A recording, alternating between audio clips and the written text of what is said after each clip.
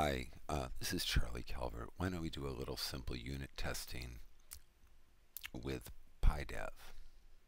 So let's go ahead and start a new Python project.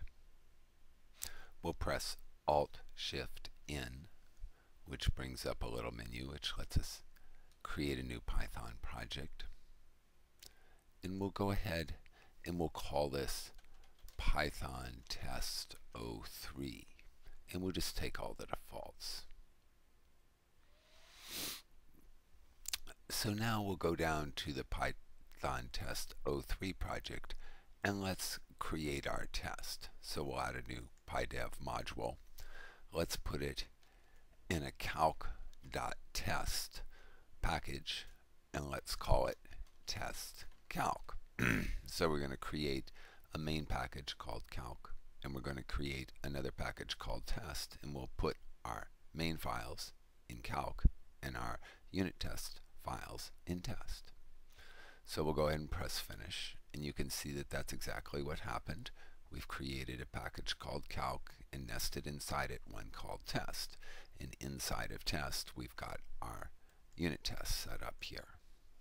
So let's go ahead and create a main class for our project and we'll call this test calc and we'll make it a unit test. And after you've typed in a little bit you can just press control space and it'll let you go ahead and automatically add your import statement. And then let's make this a test case since that's the proper way to create a class that we want to use for testing. And then probably around now might not be a bad time to create the class that we want to test. So we'll say from calc.calculator import calculator. So what we're saying is here is inside of our calc package create a file called calculator small c and in and um, then we'll create a class called calculator that will reside inside of it. And in order to create all that, we're just going to press control 1 and it pops up this option create calculator class at new module calc.calculator and we'll go ahead and accept that option. And now you can see over here that we've created a file called calculator.py and inside of it we've got a class called calculator. So I'll just press control S to save that and then control tab to come back to our tests. Okay so let's write the test itself. We're going to define a test called test add. And now here at this point we can press shift enter and we'll just move to the next line without having to go to the end of the line before doing it. And now let's go ahead and create um, an instance of our calculator class. So we go ahead and we type that and now we can press Control 1 and we can assign this class that we've defined to a local variable. So that was Control 1 to get to this option.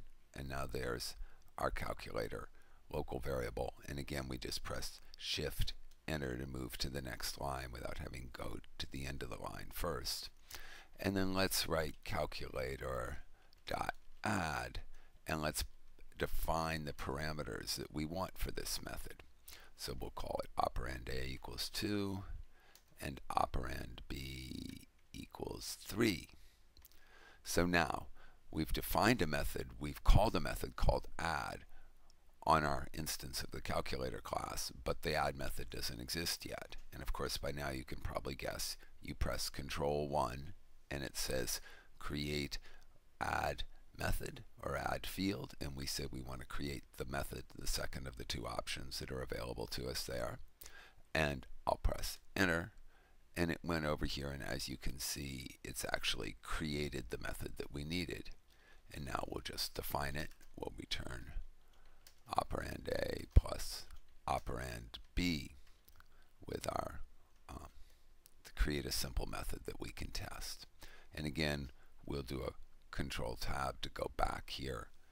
And now at this stage we want to have a result variable. So we're going to press control 1 again and it says assign to local variable, the result of this uh, call.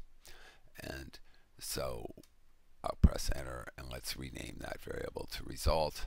And again, control, um, rather shift enter to move to the next line. And then what we want to do now is assert that this worked correctly. Let's actually run our test. So we write self dot assert equal and we can say is result and I tab to get to the next option equal to 5 and tabbed and we can define a message in case we have an error. Um, we'll just keep it simple for now. So now we've written our tests. Um, in order to actually run them, what we can do is press Control F9 and it says select the test to run and we'll just select the whole class, run them all, or we could select to run one of the methods and we'll press enter and as you can see down here in the console the tests ran and they succeeded or we can look at it in the visual view and again you can see it's all green. So we succeeded here. So there you have it. Thanks for watching. My name's Charlie Calvert.